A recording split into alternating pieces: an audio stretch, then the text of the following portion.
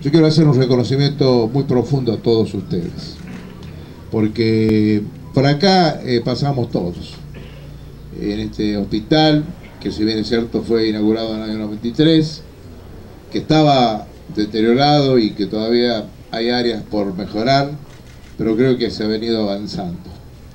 La verdad que yo creo que es un justo reconocimiento, mañana es el Día Nacional del Bioquímico, en Juan Sánchez, que iniciara 100 años a ser, y por supuesto también tenemos acá quienes han sido los precursores.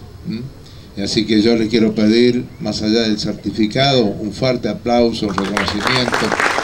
Recordarlo también al doctor Heroles Díñez, que ha sido también quien ha sido uno de los pioneros